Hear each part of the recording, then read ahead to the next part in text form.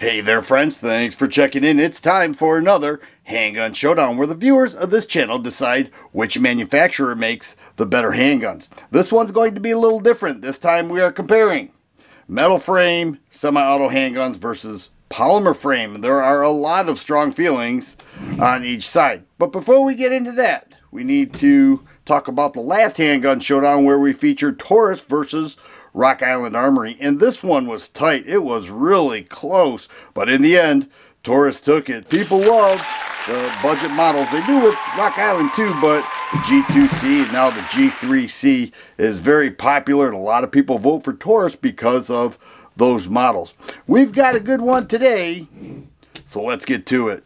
Let's start with metal frame handguns. These guys say, don't give me that plastic. Guns were meant to be metal frame. The longevity's there, and I don't mind the weight. I want a metal frame handgun. And I've got four here to showcase. Let's start right here with the CZ75 SP01. 4.6 inch barrel, full size handgun. It's a beauty.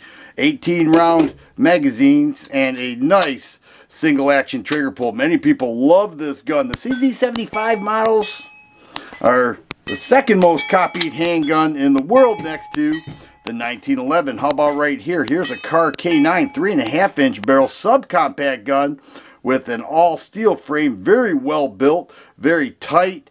It has all the characteristics of a Kahr Arms handgun with an all metal frame. And this K9 here started the company. It was the first model that Kahr Arms ever produced and it's been a hit ever since. How about this? The Sig Sauer P226. I love this gun. This is a Talo edition. It's got a 4.4 inch barrel, anodized aluminum frame. Currently has an 18 round magazine. Short reset trigger.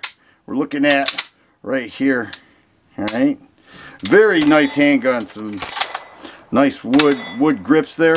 And it, it just offers everything that anyone would want in a handgun, especially this one. I, I, just find it to be amazing.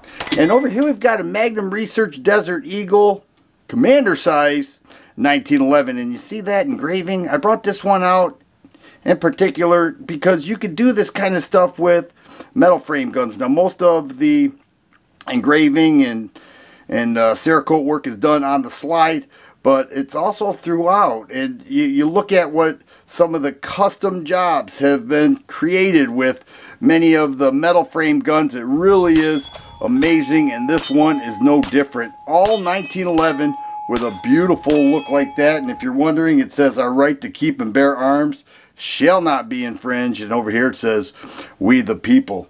Big fan of metal guns, metal frame guns I should say and um, I think this represents them very well. But now we've got the polymer frame guns, and these guys say, you know, get with the times. They're lighter, many of the frames are modular, and yes, they have stood the test of time. They, they are reliable and they offer everything in a lighter package. Let's start right here with the Ruger American Competition Gun. This is a 5-inch barrel handgun. Slide cuts there. This is actually newer from Ruger. 17 round magazines. Many competition guns are made in polymer frames, you know, makes it a little bit lighter, easier to tote around there, but yet you can get the full-size handgun that's a beauty, also optic ready with this model.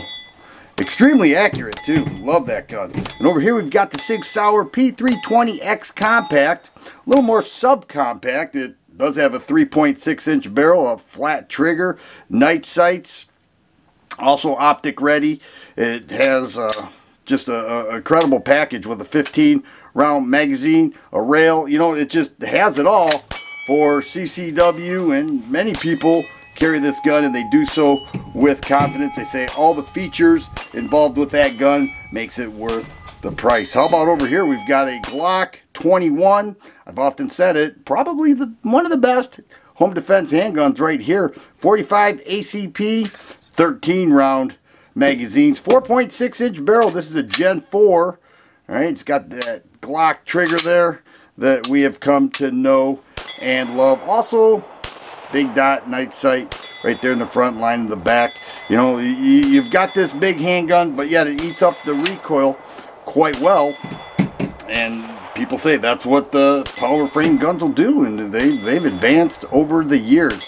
How about a Walther PPQ M2? My goodness, does this gun have a fan club? Excellent ergonomics in the grip, which is another thing they say, you know, the, the steel frame guys will say, you know, you, have got the G10 grip option. Over here says, that, you know, the polymer can be built right into the grip and, and each side is right. But over here, the PPQ, great fan club, excellent gun, a little lighter, but that trigger is amazing and an excellent shooting handgun. And actually a lot of law enforcement have made their way over from metal to polymer and I think this group represents polymer frame handguns very nicely. So which is your choice? Are you more into the heavy duty metal frame semi-auto handguns or are you into the lighter polymer frame semi-auto handguns? I have to believe that many of you are like me. You're a fan of both, but if you had to choose, which one would you choose? And I'll report the results back with the next Handgun Showdown. If you like videos like this, please subscribe and share I always appreciate thumbs up button. Thanks for watching, and you guys be safe.